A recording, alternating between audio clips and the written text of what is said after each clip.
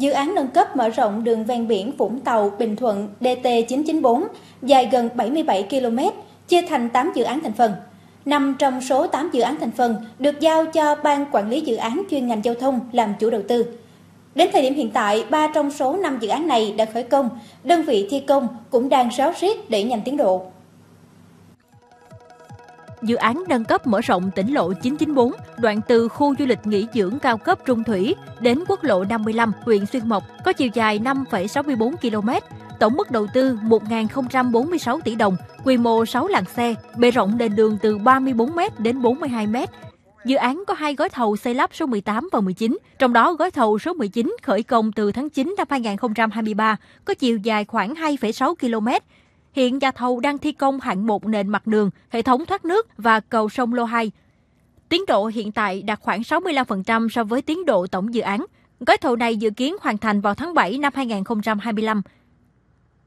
Công ty ờ, sẽ cố gắng là thảm nhựa lớp 1 vào tháng 11, tháng 12 cuối năm nay.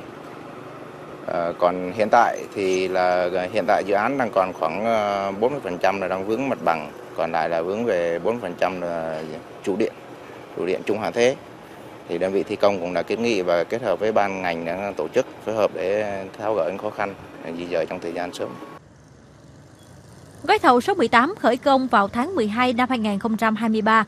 Những ngày này, ngay sau khi được các hộ dân có liên quan đến dự án dỡ bỏ nhà, bàn giao đất, thì đơn vị thi công đã ngay lập tức triển khai dọn dẹp mặt bằng, thi công hệ thống thoát nước nền đường, À, nguyên gói của mình à, 18 này là dài được 3 cây. Hiện nay là trên phương diện bàn giao mặt bằng được một cây cây mốt.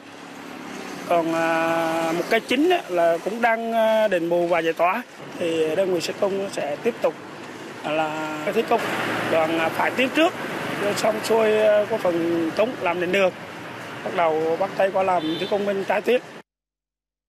Tại gói thầu số 17 thuộc dự án thành phần nâng cấp mở rộng tỉnh lộ 994, đoạn từ vòng xoay nhà lớn Long Sơn đến quốc lộ 51 và xây dựng mới đoạn từ quốc lộ 51 đến cầu Cửa Lấp thành phố Vũng Tàu, tiến độ thi công đạt khoảng 69% khối lượng công việc. So tiến độ dự án kết thúc vào 31 tháng 3 năm 2025 thì bên công ty khẳng định sẽ vượt tiến độ tối thiểu khoảng 3 tháng so với hợp đồng. Theo kế hoạch thì đến quý 3 năm 2026, toàn tuyến của dự án mở rộng tỉnh lộ 994 sẽ hoàn thành.